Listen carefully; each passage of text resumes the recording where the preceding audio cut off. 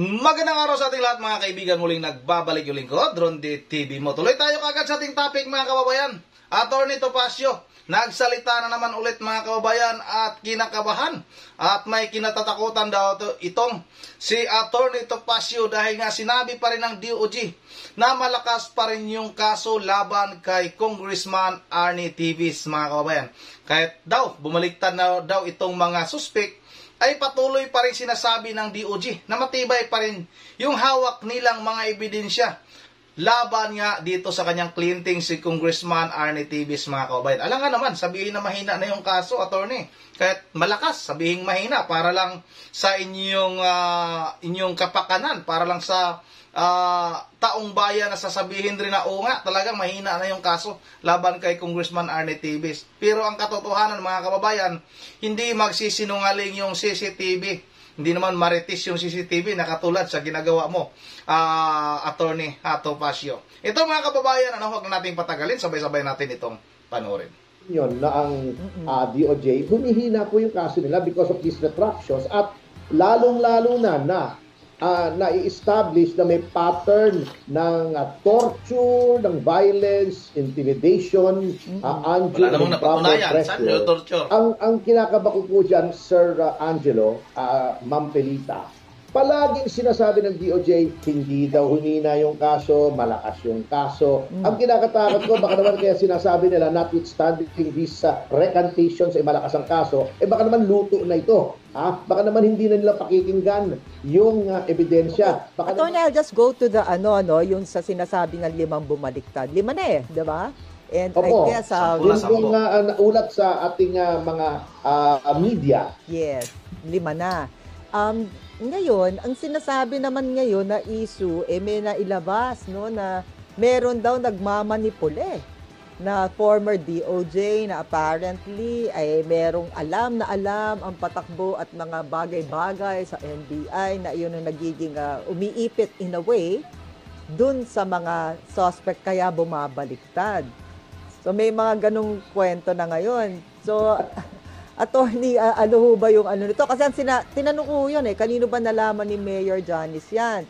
Ang sabi nung attorney kausap namin ng Degamo, eh sa kanya galing at nalaman niya yon sa dalawang jail guards. Yung, yung eh, unang-una, kung totoo yon eh bakit hindi nila i-demanda yung tao yun? Kasi bawal yung ginagawa noon eh. Ha? That is witness tampering. Ha? Eh bakit ayaw nilang pangalanan? Ayaw nilang i-demanda. Ah, puro chismis, puro marites. Mm. Ah, eh, eh, hindi pwedeng Ikaw yung marites nga eh. investigation ay puro intriga. Pagka totoo katulad namin, sinasabi namin na may nananakot ng kihana may sumerano, pinangalanan namin at uh, ito ay uh, idinimanda namin sa Commission on Human Rights. Mm-hmm. Ah, ganun po yun. Pangalawa, natatawa nga ako, may nabasa ako mga ulat ta, sa ating mga pahayagan na di umano meron daw bribery sa NBI. So, yung DOJ Secretary, hindi niya kayang kontrolin yung kanyang NBI, kung totoo yan. Mm-hmm. Pero I don't think so, ano. Ang nangyari po kasi dyan, para sa akin, ano, hindi ko alam personal, pero I've been a defense lawyer for 31 years. Yan po talagang witness pag yan ay pinilit ninyo. Hindi talagang witness yan. Hindi niya talagang nakita. At pinilit mo lang na ituro yung isang tao. Ha? Ay aatras talaga yan. At the soonest possible time, pagka yan ay nakausap na niya ang isang abogado na kanyang pinagkakatiwalaan. We have to remember, pagkahuli niyan, siyempre, kinakabahan pa yan. Ayaw naman bigyan ng abogado, ayaw padalaw sa mga kamag-anak.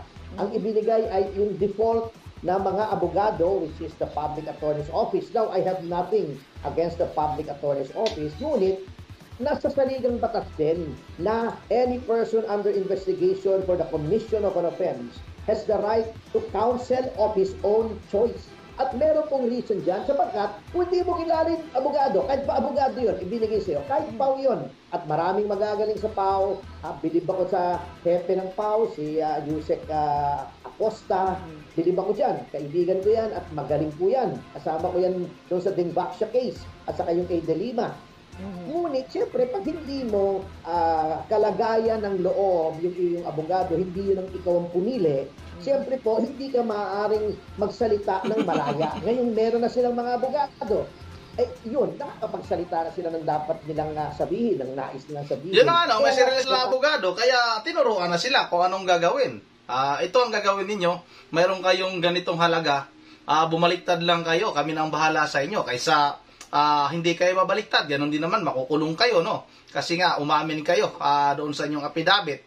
Kaya ito, yung offer namin sa inyo, ganito yung sinasabi, kunwari ditong mga kababayan, ha? ganito yung sinasabi ng abogado, kasi sinasabi ni Atty. Pasio, nung may sarili silang abogado, kalagayan na ng loob ng mga suspect, kaya ito, naturuan na nga na ganito lang gagawin ninyo. Tanggapin nyo yung offer na pera, napakalaking halaga, milyon-milyon, kaysa makulong kayo, wala naman kayong pagpipilian, mabuti pa dito, may ano pa kayo, tatanggapin pa kayong pera na ganito kalaking halaga. Kaysa makulong kayo, na wala naman kayong tinatanggap. Ganun lang yan siguro ka dali mga kababayan. Tatawa ko, parang minamasama pa ni Secretary Remulla. Nag-lawyer up daw. Bakit mo mamasamain na nag-lawyer up? Ay karapatan po nila sa ilalim ng saligang batas. At may reason po kung bakit nga ganon.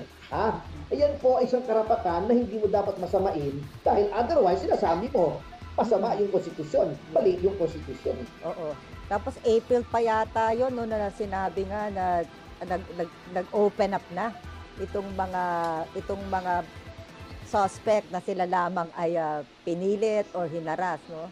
April pa pala yon tapos ang attorney yung ah, isang ano yun ko because this Rivero yung isa sa suspect Opo. no?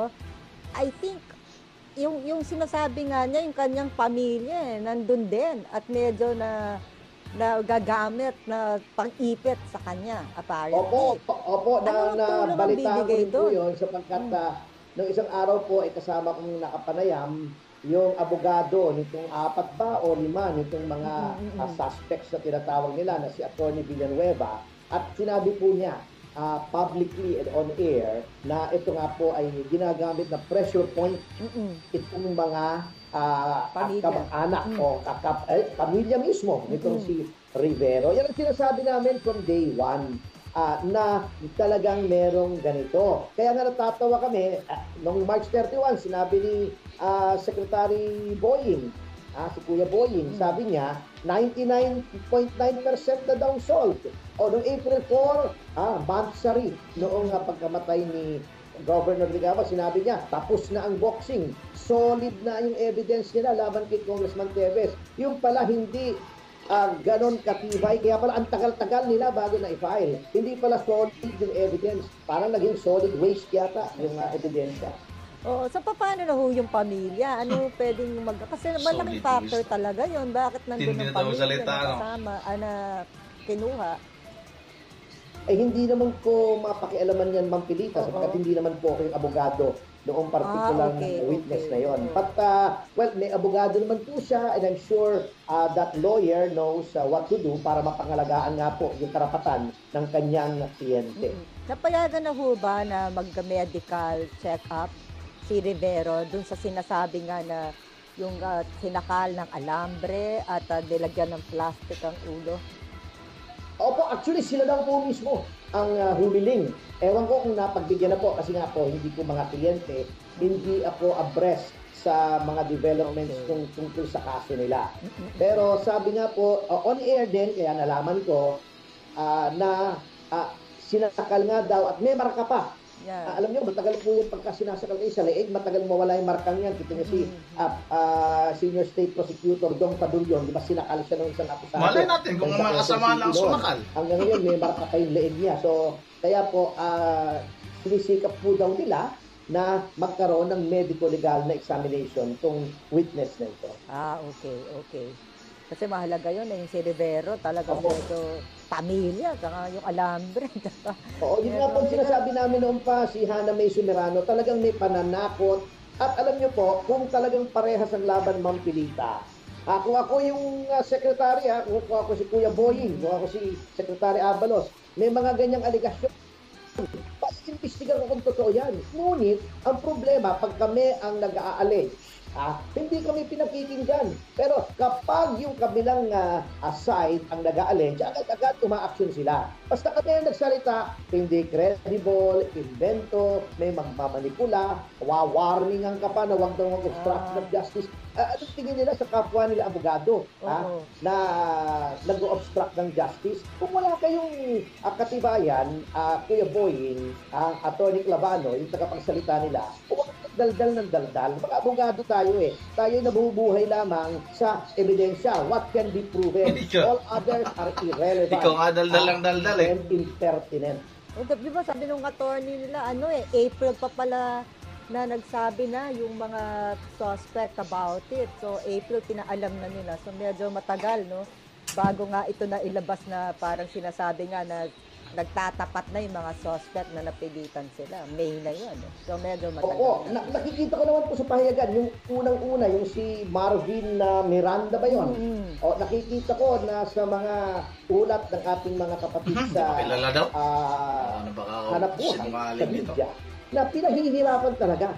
Ayaw papasukin ng una yung abogado nitong si Miranda until ah, yung nanay ay nag-appear na ron sa NBI sa kalang pinapasok. All of these are matters of public record.